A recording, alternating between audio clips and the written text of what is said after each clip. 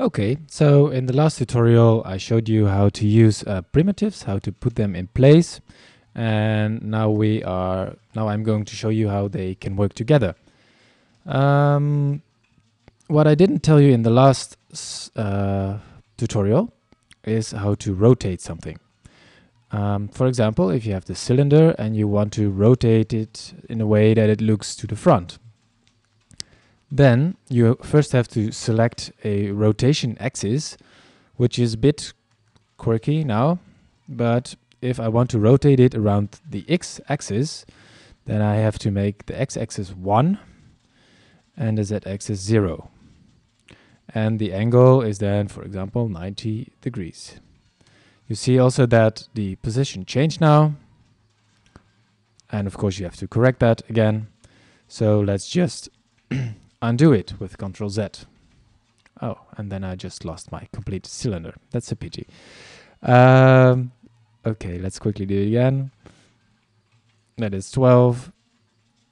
And that is, uh, let's make it 4. And the position is 5 and 5. With uh, the tab button, you can just uh, move through these uh, menus Okay, now like this. And um, for example, if I want to subtract this cylinder from the box, then I first select the box, then with Control pressed, I uh, press the cylinder. I think on Mac it should be something like a command that you have to hold, uh, like the Apple key. And then I make a cut out of two shapes. Bam! And then we have a hole through this box, which is very nice. Um, even nicer is that the box and the cylinder still exist. They are just hidden. If you click on, for example, the cylinder, and then with your spacebar, you can have it visible again. Um, if you just click on it, so it's still invisible, you can go and change the placement, for example. It is still interactive, so if I want to change this to 6, you see that the hole is moving, which is very nice because then you can always change uh, your shape uh, while you are designing, which is a very nice way of designing. So uh, you can always go some step backs, steps back.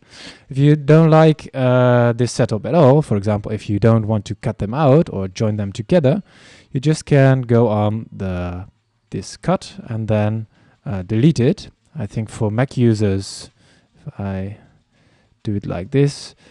Uh, it appears to be edit and then delete. And for other computer system users, they can just use the delete button. If I want to join these two shapes together, I also select them both and then I make a union out of it.